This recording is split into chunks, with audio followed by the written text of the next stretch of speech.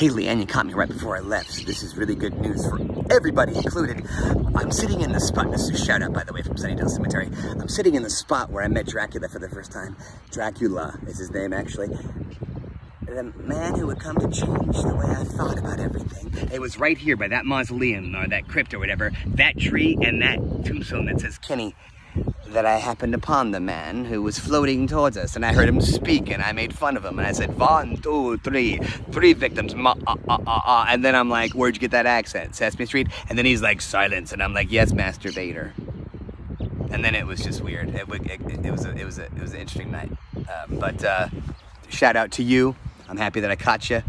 I'm happy that we were able to do this at the cemetery of Sunnydale. Boom. Dreams come true here. Bye, Leanne. Take care, bye. You're not special, you're extraordinary.